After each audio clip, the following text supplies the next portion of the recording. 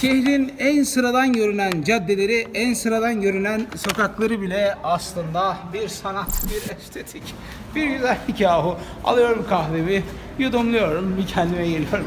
Viyana'da kahve içmeden yola devam edemiyorum ya.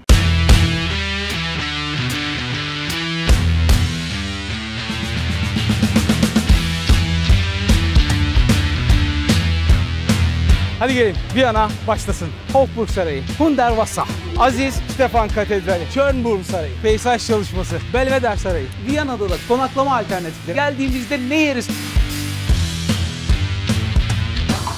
Abi çok enteresan bir yer. Hofburg Sarayı'na gidiyoruz. Oo, enteresan bir koridor. Bir Sisi Müzesi, efendim bir başka müze hemen şu tarafta, bir başka saray. Habsburg Sarayı, önü ve faytonlar. Sırasıyla devam eden birçok bina. Bu arada Viyana'yı anlatmaya devam edeceğim ama 3 saniye mola. Türkiye'yi ve dünyanın birçok ülkesini gezmeye devam ediyorum. Daha önceki videolara göz atmayı, yeni videolardan haberdar olmak için abone olmayı ve videoları beğenmeyi unutmayın. Hadi Viyana'ya kaldığımız yerden devam edelim. Arkadaşlar burası Viyana'da Schönbrunn Sarayı'nın peyzaj harikası sağı solu. Oo kaybolmalık. Deli deli deli deli deli deli koridorlar kaybolmalık.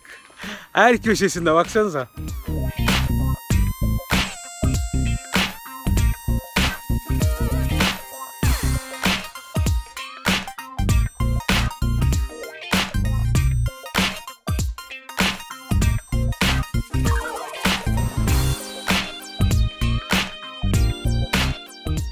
Burası da Viyana'da Belvedere Sarayı. Burası yukarı Belvedere. Şurası da aşağı Belvedere.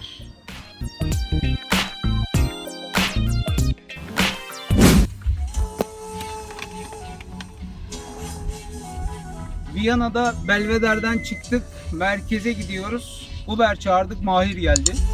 Dombrasıyla.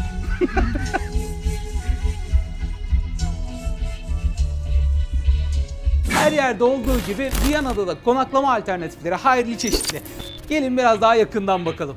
Merkezde yüze yakın otelin bulunduğu Viyana'da şehri biraz dışarı çıktığımızda sayı 2 kat, 3 kat artıyor ve alternatifler çoğalıyor.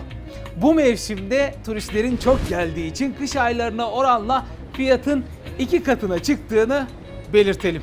Otel tercihi yaparken baştan karar vermemiz lazım. Merkezde bir otel mi arıyoruz? Önceliğimiz fiyat mı? Merkezde arıyorsak birçok yere çok yakın ulaşabiliriz. Yürüme mesafesindeyiz. Ancak fiyatlar biraz yüksek, binalar biraz yaşlı. Şehirden biraz uzaklaşırsak avantajlarımız neler? Evet daha yeni binalar, daha konforlu odalar. Üstelik fiyat da biraz düşük. Dezavantajı ise şehrin biraz uzağında olmak. Hadi ince otele ulaşamamak. Aynı zamanda bir ulaşım sistemi keşfetmiş olmak. Karar sizin.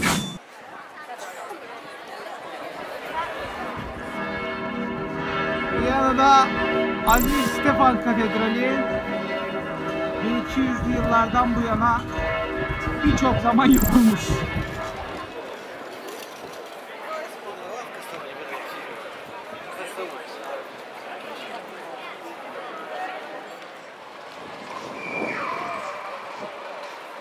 Viyana'ya geldiğimizde ne yeriz sorusuna ağırlıkla aldığımız cevap şinisel oluyor tabii ki.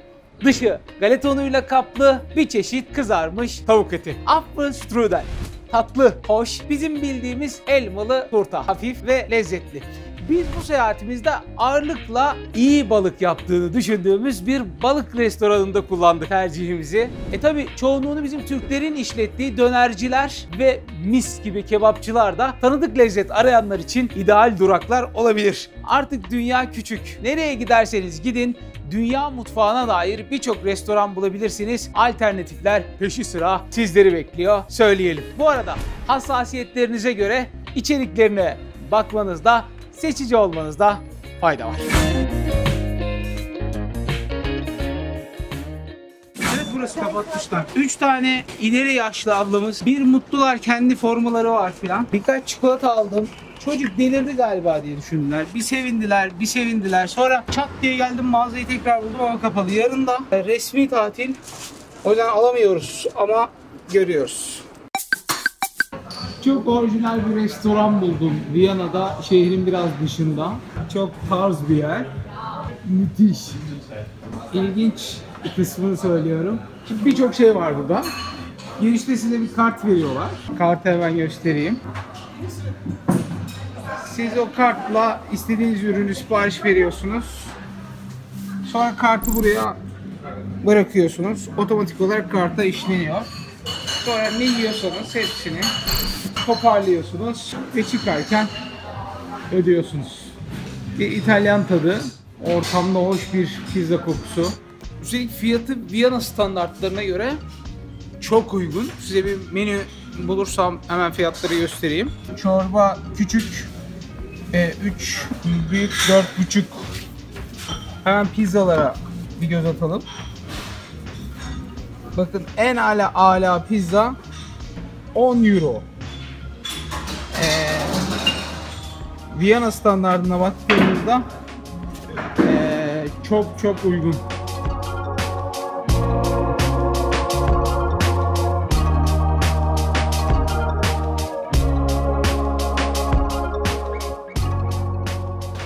Bakın ne müthiş şeyler yazıyor. Tam benlik. Oscar Wilde söylemiş. Yemeği ciddiye almayan adamlara asla tahammül edemem. İşte ben. Bakın bir özel detayı daha paylaşayım. Bakın masayı göstereyim size. Geniş tatlı bir masa. Özel bir ayrıntı İtalyan restoranı. Pizzaların üstüne soslar. Yetinmemişler. Taze bitkiler, fesleğen, reyhan ve biberiye. Yemeğinizin üstüne siz katabilirsiniz. Her masada var.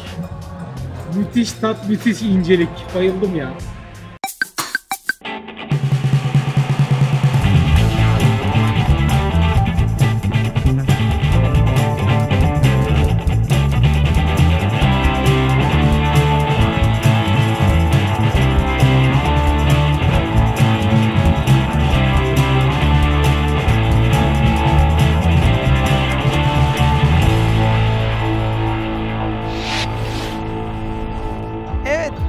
Yine bir merkezi alandayız. Ne tarafa dönsek gösterilecek, ne tarafa dönsek anlatılacak bir yer var burada. Hemen arkada Sanat Tarihi Müzesi ihtişamıyla. Biraz dönelim mi bu tarafa? Asıl saray, Kışlık Saray, Hafburg Sarayı. Hemen bu tarafa dönersek Doğa Tarihi Müzesi, Sanat Tarihi Müzesi ile aynı mimaride bir meydanda. Peki neden bağırıyorum? Sesimi duyurmaya çalışıyorum. Çünkü bir kaşık düşse de oynasak tadında. Her köşede bir müzik, her köşede bir eğlenti.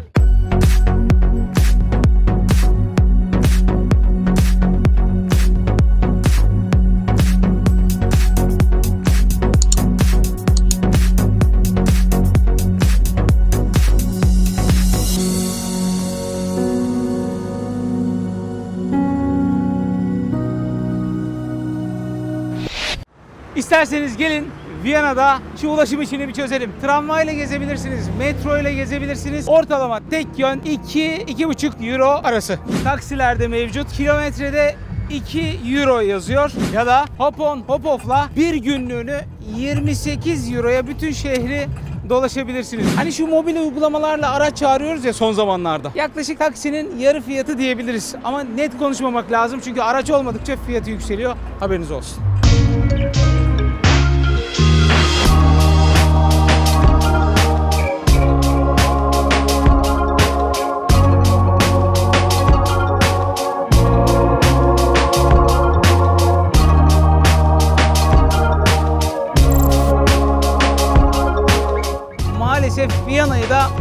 Bitiriyoruz ufaktan.